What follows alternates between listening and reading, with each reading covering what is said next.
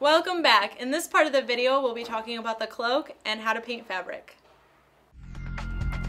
Okay, so now we're going to concentrate on fabric and right now I am painting the little bit of skin that is showing on her chest.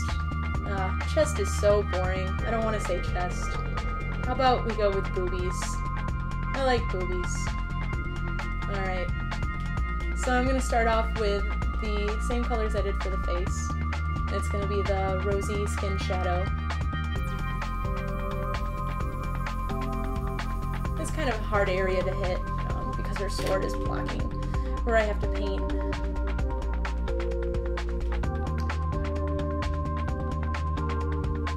So I go back in there, such a, such a small area.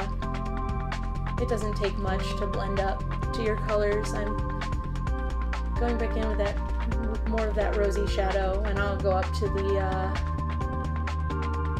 rosy skin color.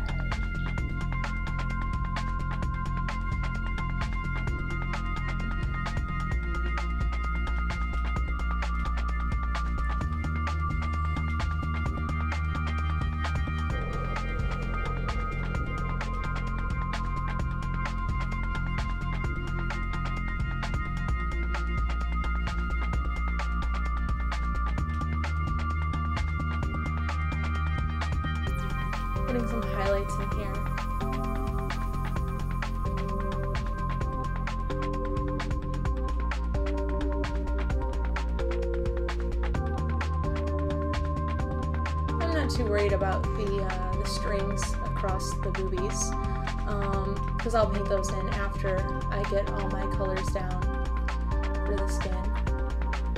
So here I am painting the, uh, the little strings on her jumpsuit, or whatever we would like to call it, her cat suit, as I referred to it earlier. I'm coming in, since I uh, got a little paint uh, outside of, strings, a little black paint, so I have to come back in and clean it up a little bit.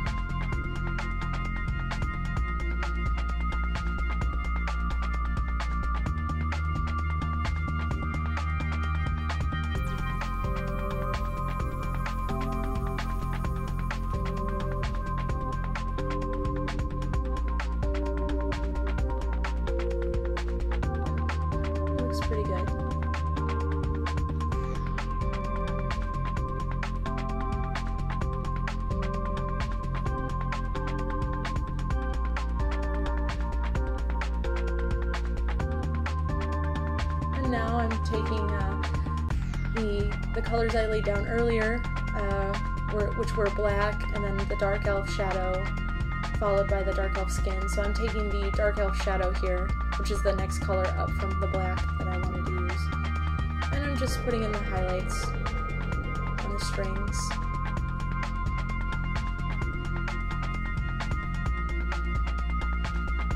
Again, it's such a small area, it's pretty easy to achieve a nice blend your colors.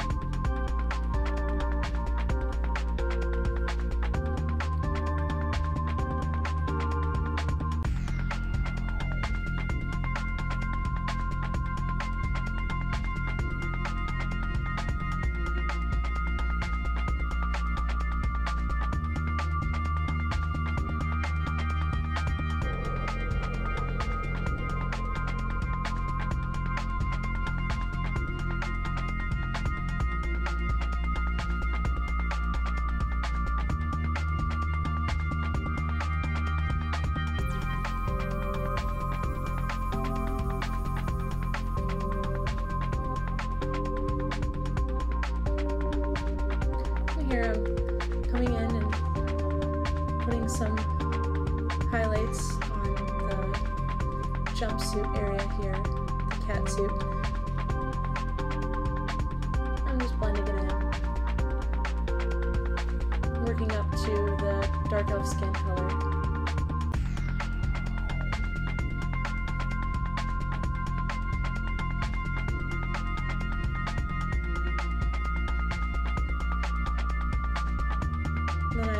went in with my one of my darker uh, with my black redid the shadow around her leg, and then I'll do a highlight, which I chose to use the vampiric skin color again for my brightest highlight on the cloth. The same one I used for the hair. It's useful since it has that um, warmer temperature to it.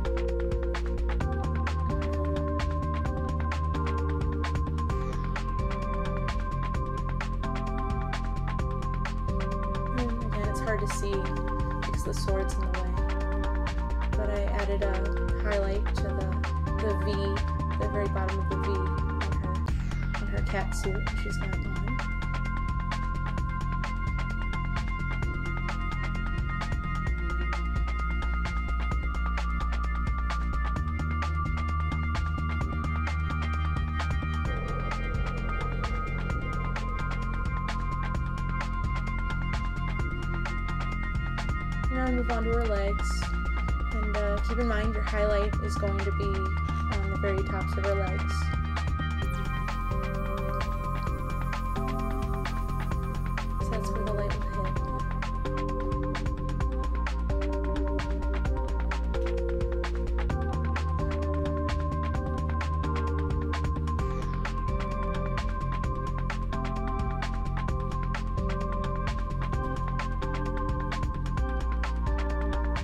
I'm laying down my dark elf shadow.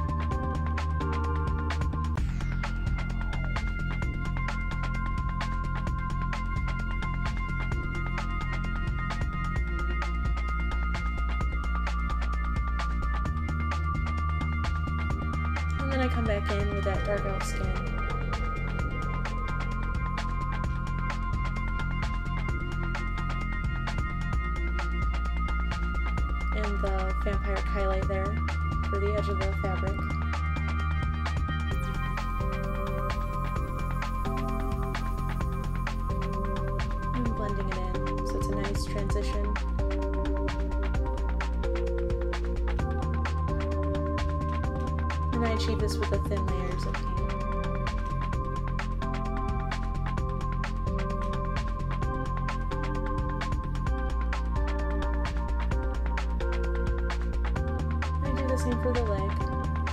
And I keep in mind that the leg underneath the cloak won't get as much light, so we don't have to go up um, as a high, high as a highlight for the leg that's under the cloak.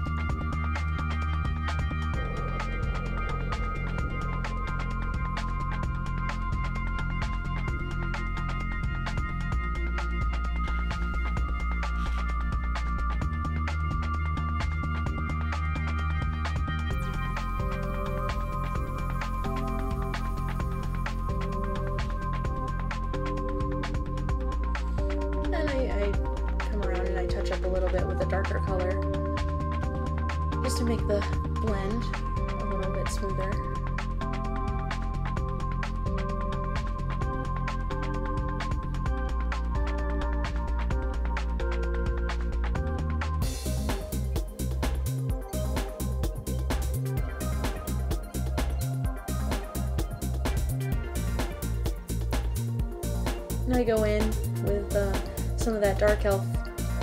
Skin mixed with the vampiric highlight. Lay down some uh, brighter color in a concentrated area.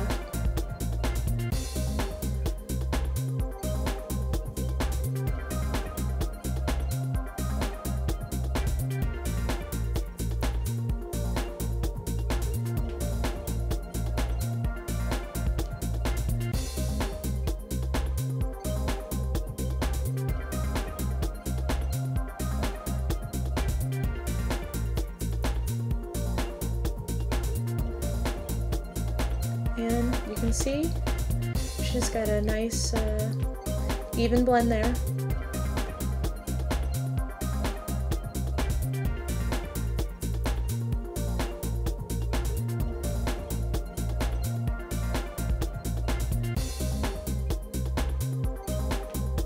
For the cloak, I used a Nightmare Black, a Twilight Blue, a Midnight Blue, and then my highest highlight was a Snow Shadow.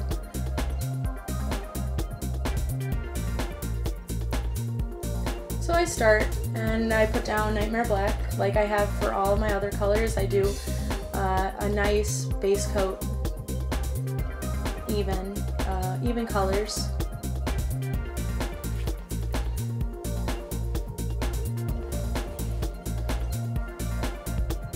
Just making sure that there's no uh, white primer showing through. Then I paint the scarf because I waited to paint that um, because I paint the skin.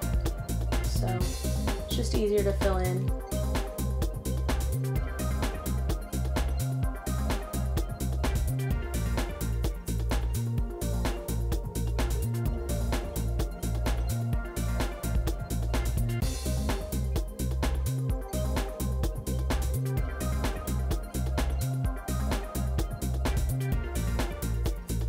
She's got a nice um, even base coat, I start with the Twilight Blue and I'm just um, figuring out where all my highlights are going to go. So the cloak, uh, it'll be on the, the upper folds. And I just work in layers, building up the color.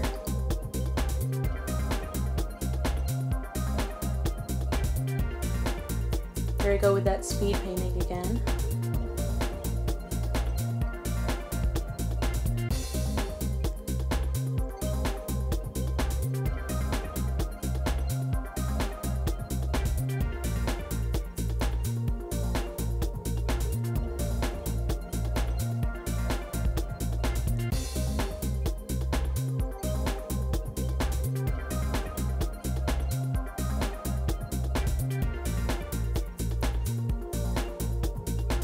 When I'm applying these layers, the um, layers help me achieve a nice even gradient on the cloak itself,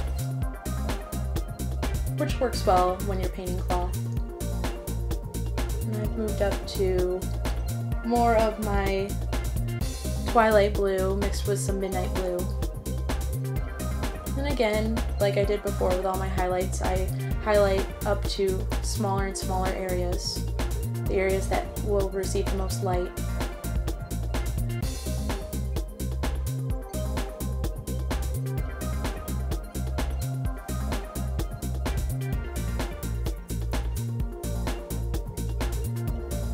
Got a little paint outside of the lines, just gotta clean that up there. No big deal.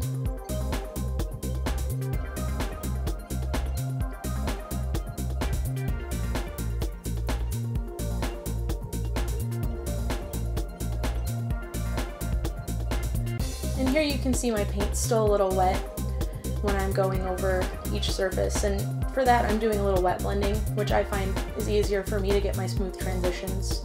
I switch back and forth between the, um, the layering of the paint, the thin layers, and the wet blending. Which some people are more comfortable with wet blending, and some people are more comfortable with the um, putting down the layers,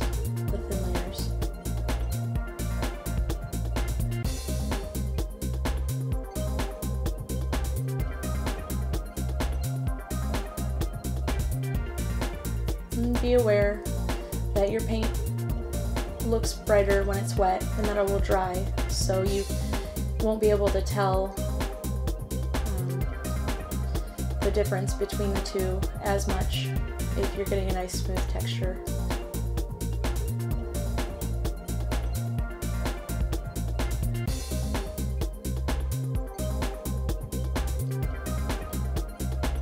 And don't worry too, if you get too much of a highlight, if you go outside of the area there, you can just come back in with a darker color and clean it up.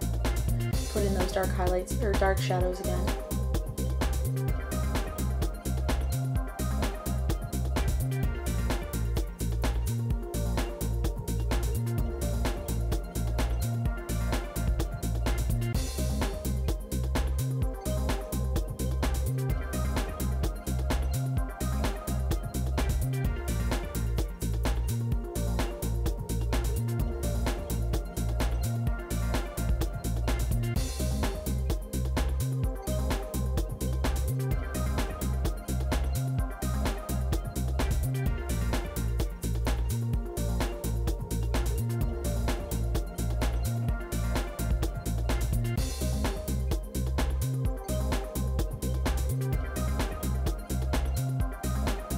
Now I've added in a little bit of uh, the snow shadow to my weathered blue to bring the color up.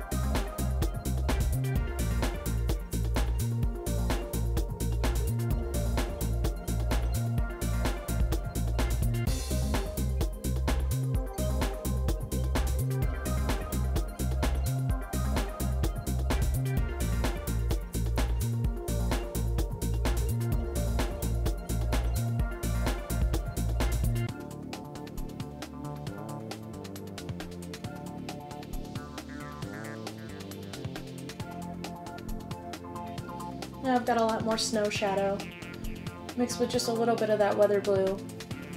You can see the difference, how bright it is. And I blend it in a little bit.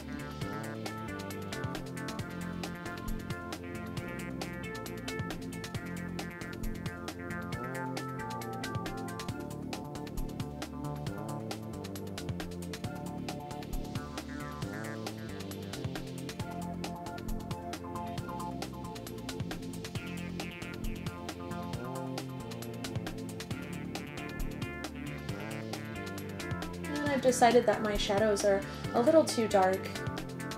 Um, the transition is, is too dramatic, so I went in with some uh, Twilight Blue mixed with a little bit of that uh, Nightmare Black and smoothed it into the fold.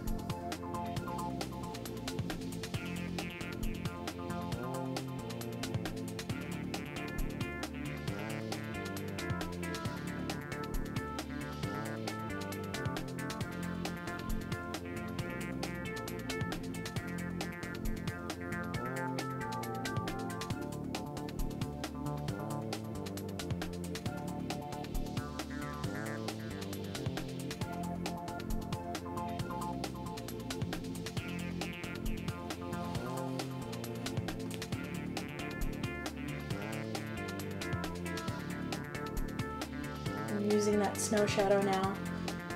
I'm just using it in the small, smaller areas, the very tops of the folds of the cloak.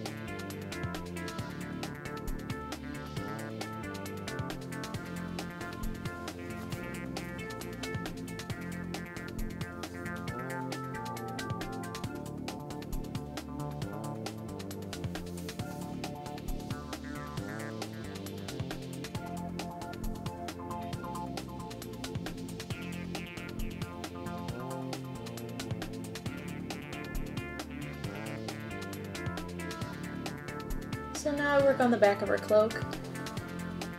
You can see I'm doing the same thing, using the same colors.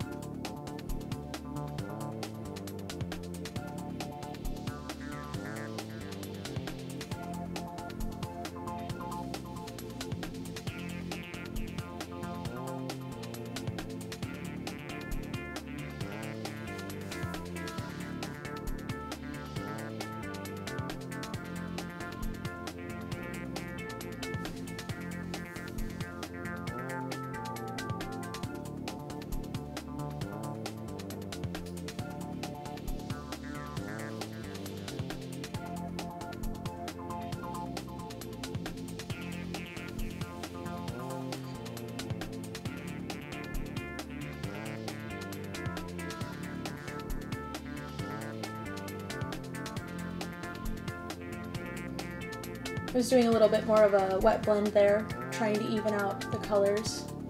It would be not as bright underneath her hair.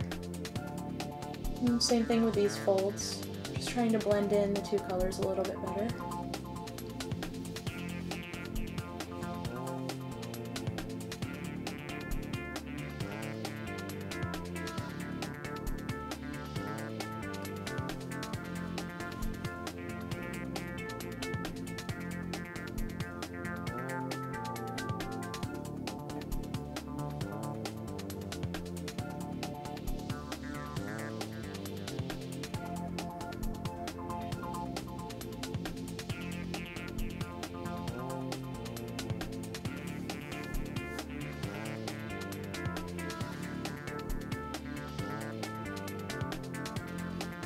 Painting the folds of the scarf.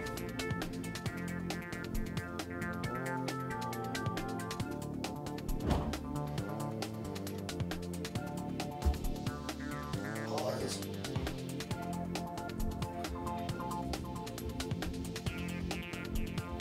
Oh, right now. Yeah. Start again. I'm just painting the folds of the scarf, doing the same colors I used on the cloak. Bringing up the highlights with the twilight blue to the weathered blue, then to the snow shadow. It's a little easier to achieve a, a nice gradient because it's a smaller area.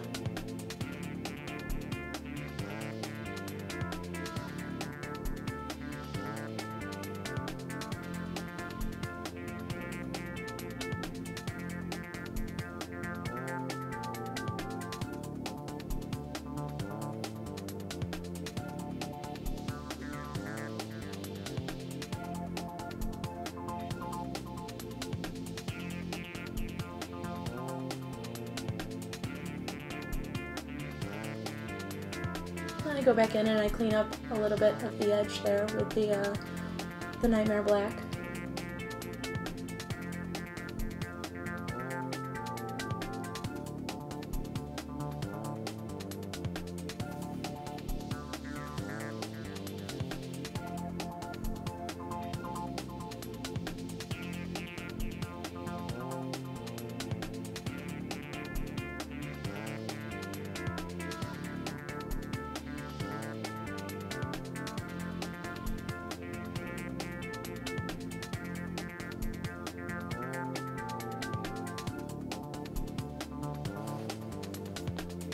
And here again, I'm just smoothing everything out.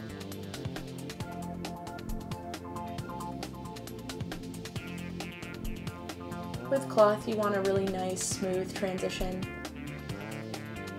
And it's easier to do that when you let things dry.